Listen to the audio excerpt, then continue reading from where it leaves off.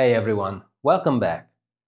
In my last video, I explained why AI taking over certain jobs isn't necessarily a bad thing. Today I want to discuss another aspect of the AI revolution we are experiencing. Why are beginner IT jobs the most endangered by AI and what should you do if you plan to start a career in tech right now? Stay with me until the end because I'll show you how to overcome the beginner phase despite not having worked in a professional setting.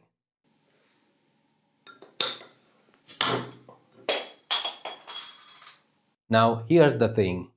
I genuinely believe that AI is taking over roles that, if we're honest, were kind of artificially created. These jobs made sense at a certain point, sure, but they were always destined to be replaced by tech, jobs that didn't require much creativity, intuition, or complex problem-solving skills. And the roles most affected by this are beginner-level positions. I'm talking about junior programmers, junior testers, or technical writers. You get the idea. These are jobs that involve a lot of repetitive, straightforward tasks. And guess what? Modern AI like ChatGPT or Claude AI can already handle these tasks often better and faster than a beginner. AI can review documents, suggest improvements, and even write acceptable level code if the context is well defined, and it can do this at a speed humans just can't compete with. Now, let me give you an example that might hit a bit close to home.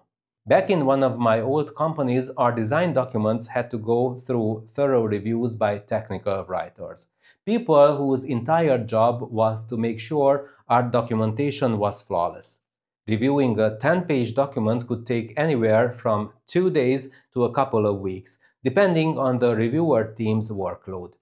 But today, you can ask an AI to do a first pass in seconds. It honestly takes more time to upload the file and craft the right prompt than for the AI to deliver feedback.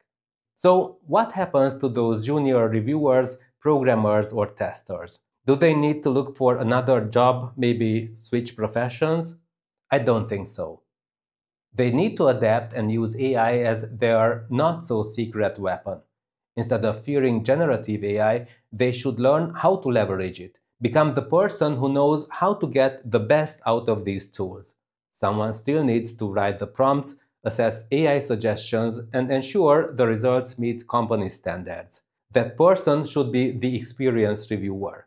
He or she already has the expertise to deal with issues like false results or AI hallucinations.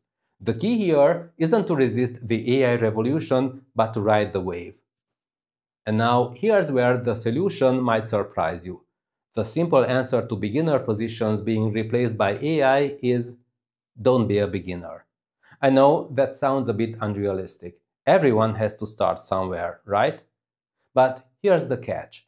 You don't have to be a beginner when you apply for your first IT job. Let me share a bit of my own journey. When I was in college, I didn't just focus on classes and the bare minimum. I spent a lot of my free time building software projects, starting small and gradually working my way up to more complex systems. By the time I applied for my first job, I had a portfolio with about a dozen finished projects. There was no GitHub back then, so I literally brought floppy disks and CDs to showcase my work. And that made all the difference. I didn't realize it at the time, but my soon-to-be managers later told me I was the only person they hired that year who had actual software development experience. It changed how they saw me, more trust, more responsibility, and yeah, probably better pay too, right from day one. The point in this for you, don't let yourself be labeled as a beginner. Build your skills, create a portfolio that shows what you're capable of. Even before the rise of generative AI, people who could actually prove their skills had a huge advantage over those who just had a degree. That's not new, it's just more critical now than ever.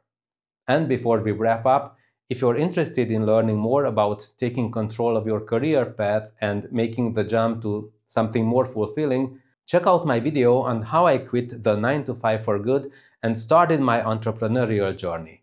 I share my personal story and steps I took to make it happen. You might find it inspiring, especially if you're looking for a change.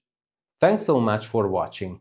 If you found this helpful, give it a like, subscribe, and drop a comment below about how you're planning to use AI in your work. Let's keep this conversation going, and I'll catch you in the next video.